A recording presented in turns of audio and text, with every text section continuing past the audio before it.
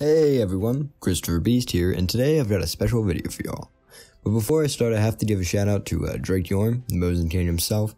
He was very helpful in this video, and it really wouldn't have been possible without him. Um, a lot of the stats and generally the structure of this video was done by him. Uh, most of the clips in the background are done by him, and he really deserves a lot of credit for making this a possible project for me. Um, I mainly use burst guns, realistically, so uh, the idea the Suomi is not a burst gun, so it's it's not realistic for me to be using it in any situation.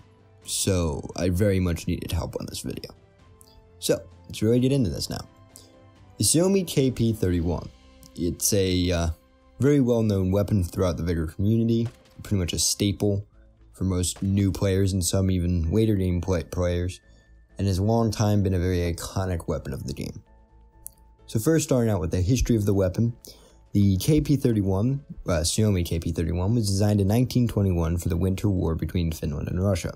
It was a useful firearm for the Finnish soldiers on the battlefields of the Winter War, and many Finnish legends in the war, such as the White Death and the soldier who fought in three different factions of Larry, would use the weapon at some point.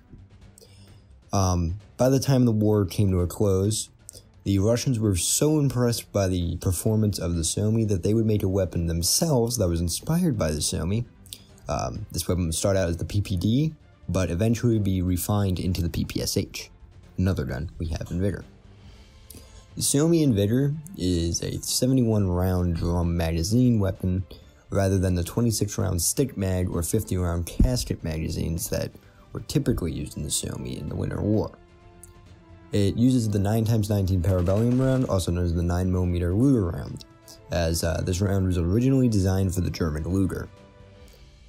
In game, the Suomi isn't greatest stat wise. It's reliable, but it's not insane. Um, it has a fire rate of 800 bullets per minute. In single fire, it's pretty accurate, but it's very much meant to be a full uh, auto weapon.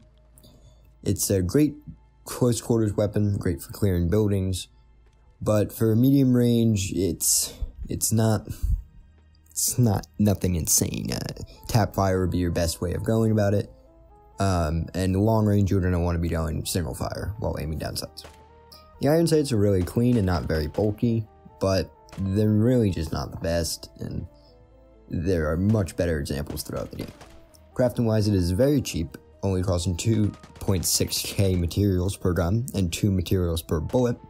The plan should be fairly easy to get as it will show up in white, uncommon, and blue crates, and itself is an uncommon weapon.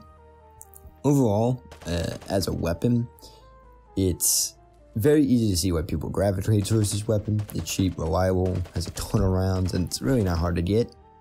Um, and Drake said he would give it a rating of 7 out of 10 despite it being one of the most iconic weapons in Vigor. Um, so, once again, huge thank you to Drake Yorn. This whole section about the stats, and most of it was written by him, so I'm thankful. Hopefully, you all enjoyed. And if you did, be sure to check out Drake Yorn's channel. I'll be leaving a link in the description and my Discord in the description. Um, if you want to see more videos like this, more weapon reviews, give this video a like. And uh, I hope to see you all next time.